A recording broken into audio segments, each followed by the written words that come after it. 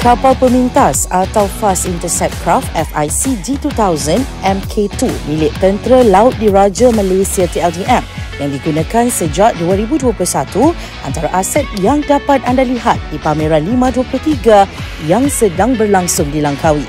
Ia berfungsi untuk mengawal pesisir pantai serta mengusir penceroboh yang memasuki perairan negara.